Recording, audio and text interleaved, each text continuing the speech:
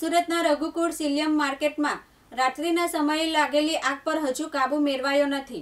ત્યાં અમદાવાદના પાંચકુવા બીબીસી માર્કેટમાં આવેલ સહજાનંદ કોમ્પ્લેક્સના ભોયણામાં આવેલી કાપડની દુકાનમાં આગ લાગી હતી. ગીંચ ભોયણામાં આગની ઘટનાને પગલે બે ફાયર ટીમ ઘટના સ્થળે પહોંચી આગને એક જ કલાકમાં કાબૂમાં લઈ લીધી હતી.